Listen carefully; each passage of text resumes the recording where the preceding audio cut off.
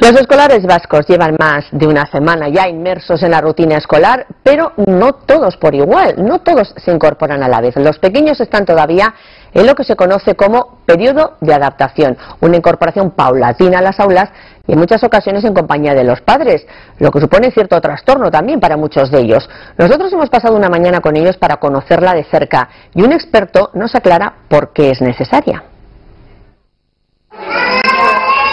Es su cuarto día de colegio. Unos juegan, otros lloran y algunos buscan desesperadamente la salida. A su ritmo, cada niño se adapta a nuevas aulas, profesores y compañeros. Lo más difícil para ellos. Separarse de sus padres, compartir al adulto con los otros y el momento de mediodía.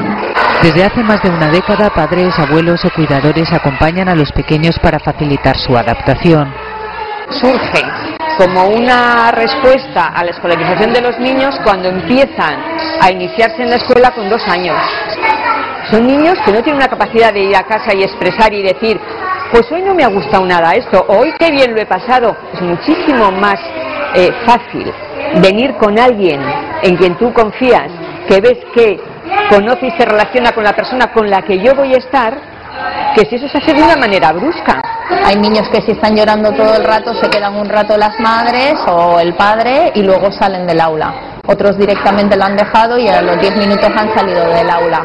Se busca siempre es que haya un primer momento en el que padres e hijos comparten el aula. A continuación se plantea que se queden a comer. Y ya como último paso, si utilizan transporte, pues que accedan al transporte.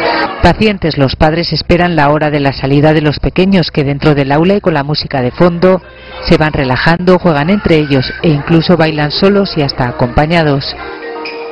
Aunque no todos comparten la misma pauta, ya actualmente casi la totalidad de los centros públicos concertados y privados exigen las primeras semanas la presencia en el aula de padres o tutores, pero el resultado al final es este.